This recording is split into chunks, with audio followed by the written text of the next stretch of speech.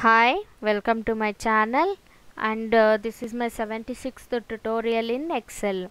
So today we are going to discuss about inserting an object in the Excel.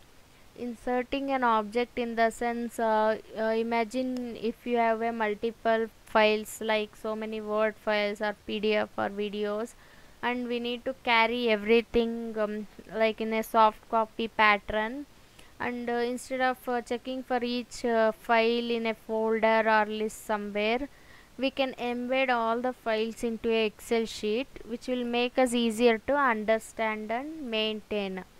So that is nothing but embedding an object. So i will show you how to embed a object in this excel sheet. We can insert a word pdf or video or on we can in also insert uh, one more excel into this embedded file. So in this 2013 usually in the insert tab we will be having this symbol. This is nothing but embedding the object. We use this tab for that. But in 2010 i think uh, it will be then in the name itself it will show the insert object uh, something like that but uh, in this 2013 we will be having this symbol. The description also you can see that embedded objects or documents or other files you have inserted into this document instead of having separate files. Sometimes uh, it's easier to keep them all embedded in a document. So just click on this and here instead of create new we need to create from file and browse for the file. We want this file to get embedded. Just click display the icon and we can also change the icon.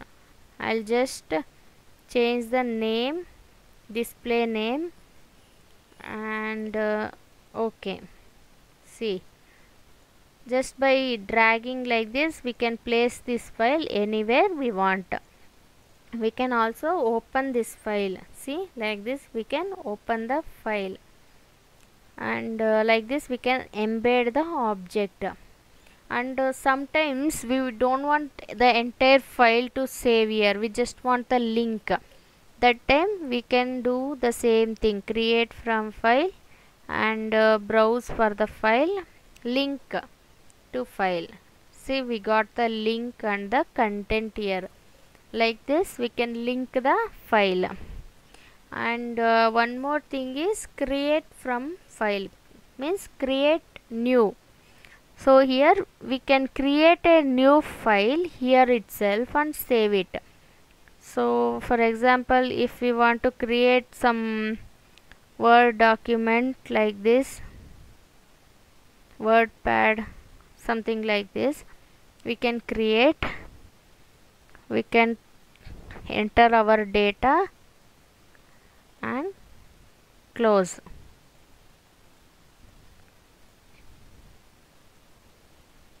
See like this.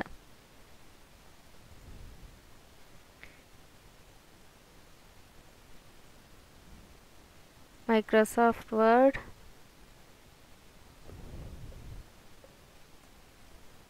Like this.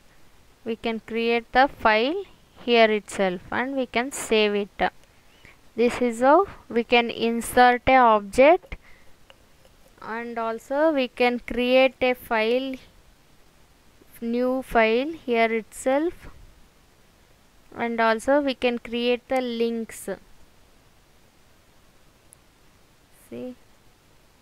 Like this also we can create. Okay. And uh, we can type something save and close. Like this. File format also we can do or the content also we can create. Just click it and delete it will get deleted.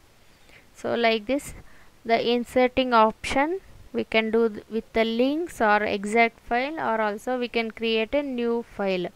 This is also one of the important and very useful feature in excel. Hope this information helps. Thanks for watching the video